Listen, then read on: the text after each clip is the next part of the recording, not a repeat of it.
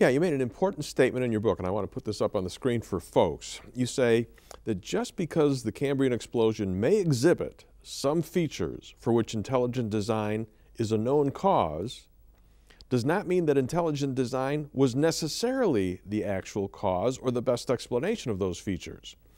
You go on to say only if the Cambrian event and animals exhibit features for which intelligent design is the only known cause may a historical scientist make a decisive inference to a past intelligent cause. I think that's a very important statement. Explain what you're, what you're saying here. Right, well, this is a point of logic. Uh, and when you're trying to uh, do what scientists call retrodict, infer from clues in the present back to causes in the past, you can make a decisive inference when there's only one known cause for the effect in question. If there, are, if there are many different types of causes which will all produce the same effect, then when you see the effect, it could be a, any one of those causes that was responsible. But in the case, uh, so for the historical scientists, the best case is when you have an effect for which there's only one cause, because then the effect will decisively indicate the cause because there's no other possibility. And what I argue in Darwin's Doubt and also in Signature in the Cell is there is only one known cause for the origin of functional information, information that performs a communication function, and that cause is intelligence. And yet that's precisely the, the, the effect that we see in life, that, that we have to explain in life. It's the origin of the information in, the, the, digital code in DNA, and then we've also been talking about this higher level um, information processing system and the epigenetic information that's involved in building animal body plans. All right, I think we're going to show them another clip here that's going to explain not only what you're saying, but give them a little bit more evidence about why intelligent design fits is the best explanation to fit the evidence. Folks, I want you to watch.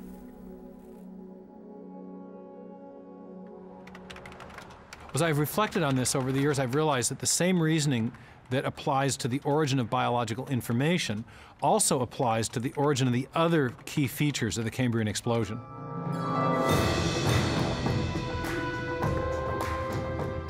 The sudden top-down appearance of the phyla during the Cambrian explosion defies the simple to complex pattern of development that Darwin predicted.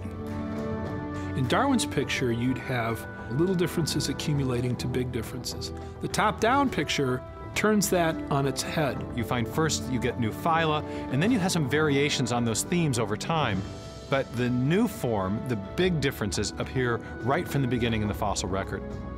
If you consider the possibility of design, you realize that that pattern makes perfect sense because we see in our own history of technology this same pattern of top-down appearance in new forms. You're always working from your high-level objective to your details in order to accomplish the high-level objective.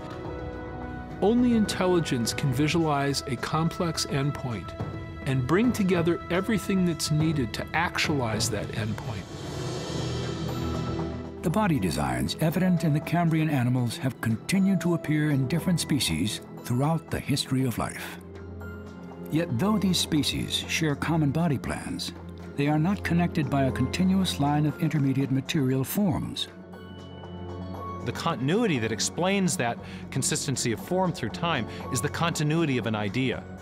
So when we see in the fossil record the same basic idea popping up over and over again, that suggests that a mind has played a role in the origin of that form, of that body plan organization. Design systems also display another distinctive feature. They are comprised of a network of complex and precisely organized component parts. You could speak of these in terms of a nested hierarchy. You have the very high level parameters that, that specify the whole project goal. Below that, you have layers and layers of more detailed parameters that are needed in order to complete the whole project. As an example, resistors, capacitors, and transistors are each made from specifically arranged materials.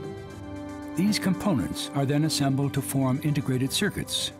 Circuits are arranged to build computers that are then arranged into networks of computers.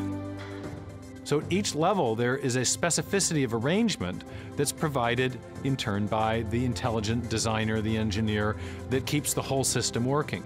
Well, what you have in biology is something very similar. In living systems, genes code for proteins, which are organized to form distinctive cell types, which are arranged to form tissues and organs, which are assembled into body plans, including the plans that arose during the Cambrian explosion. We know of only one cause in the entire universe that can produce that kind of hierarchical arrangement of form and structure and information, and that causes intelligence. This is the kind of thing that minds do, but natural undirected processes don't. Evolution works very slowly, as Darwin saw it, with lots of failed experiments along the way. And one would expect that over millions of years, as sediment is being deposited, that you would capture some of those experiments, some of those linking groups leading to the trilobites that he knew all about. So the absence of those forms is profoundly mysterious. But from the standpoint of intelligent design, it's not mysterious at all because we know that intelligent agents can bring things into existence that didn't exist before because they had an idea. They had a blueprint in their minds that they realized in their creative activity.